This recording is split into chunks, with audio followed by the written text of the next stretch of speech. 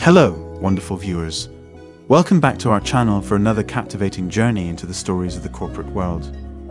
If you're enjoying our content, don't forget to hit that like button, share with your friends, and subscribe for more intriguing narratives. Your support keeps us motivated and inspired.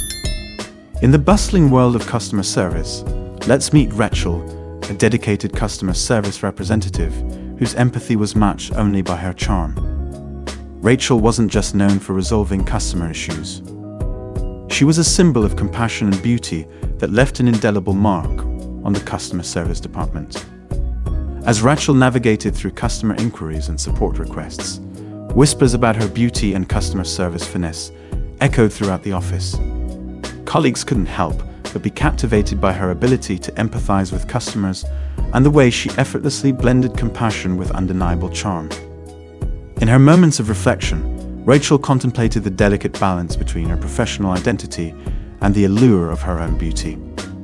Unbeknownst to Rachel, Alex, a charismatic client success manager, found himself drawn not just to her customer service skills, but to the unique beauty that defined her presence.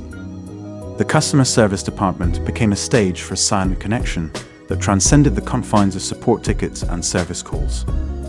In the midst of resolving customer issues and ensuring client success, Rachel found herself navigating the uncharted waters of an office romance.